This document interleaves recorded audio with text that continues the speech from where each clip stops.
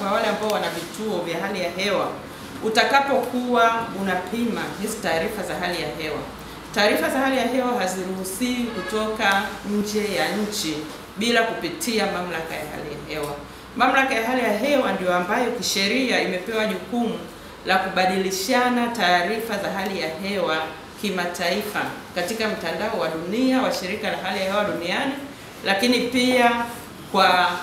makubaliano yoyote ambayo yatakuwepo, mamlaka ya hali ya hewa ndio ambayo inaweza kubadilishana taarifa za hali ya hewa. Kwa hiyo wadau wote ambao watakuwa na vituo vya hali ya hewa watapima taarifa za hali ya hewa hapa nchini, wataruhusiwa kuzitumia taarifa hizo kwa ajili ya shughuli zao maalum ambazo zimeacha wakaweza kuwa na hivyo vituo, lakini pia watawasilisha taarifa hizo katika